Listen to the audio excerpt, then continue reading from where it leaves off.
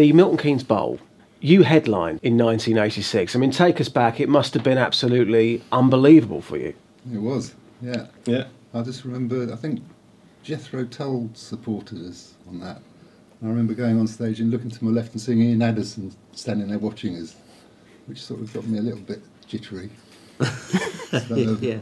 But yeah, just it was an amazing concert and an amazing firework display afterwards as well. Really? Yeah. And an all-night drinking session. Uh. it was a great gig though because I mean everything about it. You know, the weather was just perfect. Everything was perfect about it. It was hmm. really good. And we played Aylesbury Civic or, or Yeah. Friars Yeah. Hmm. shortly before it, and we put in the full production there. Same production that we were going to use at Milton Keynes, which is quite a stupid thing to do. Really. and it's, it was then it snowed. Well, there was something. I can't remember. Can't snow, did It was It was really bad weather, wasn't it? It was bad weather. As you can bad. see, our memories are all intact. Yeah. it was the biggest audience we'd played to that had just come for us.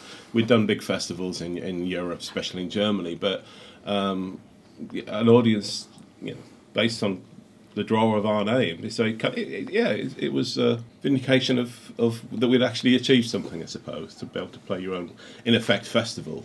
It's one thing being told because obviously you know we knew it, this was on the cards for quite a while, and mm. I just couldn't believe it was going to happen. you know. And it was nice to headline above Jethro Tull because about two years previously, three years previously, we played at the Theakston's Music Festival and we were, I think we were first on. It was like 82. Yes. And Jethro Tull were headlining. So this mm. is the way these things go, isn't it? You know, one minute you're at the top, next minute you all change places, you know. So you should always be nice to people. You never know where, where you're going to end up. I remember an early gig where we opened for Lindisfarne at the Queensway Hall in Dunstable.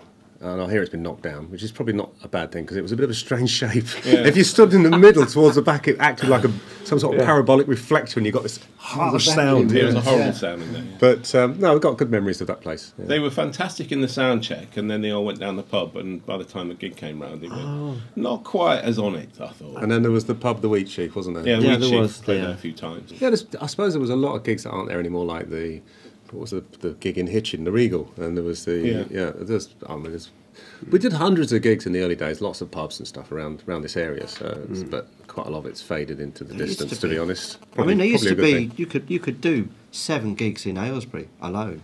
I mean, back in the sort of late seventies, early eighties, you could do a lot of gigs.